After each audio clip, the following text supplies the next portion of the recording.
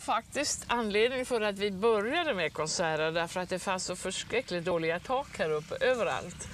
Och då visste inte vad de skulle få pengar ihop. Och då, då blev det att jag, jag började sjunga ihop. Men sedan har, är det ju fantastiskt alla de här medlemmarna i hembygdsföreningen. De, har gjort, de gör ett fantastiskt arbete, ett otroligt arbete. De arbetar alltså verkligen mycket målmedvetet med stor energi. Jag kommer ju någon gång då och då och tar allt uppmärksamheten till mig därför att jag, har varit konserter och jag har sjungit och jag har engagerat sångare och sådär. Men det är ju bara en gång vartannat år som det kommer in lite pengar. Men de som faktiskt går här och gör alltså rent ideellt arbete, de ska vi inte glömma. Ska vi gå in i gården och titta lite grann hur Ja, dina ja det kan vi göra. farmor bodde? Ja, tänk.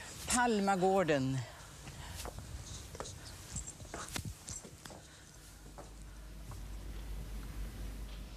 Musik och strövtåg 7 och 21 juli klockan 16.00.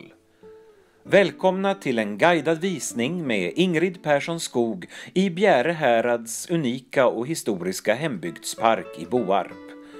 Estradören Mattias N sjunger och berättar om världssopranen Birgit Nilsson, bygdens dotter. Förfriskningar serveras av Kaffestugan. Boka din biljett idag. Välkommen!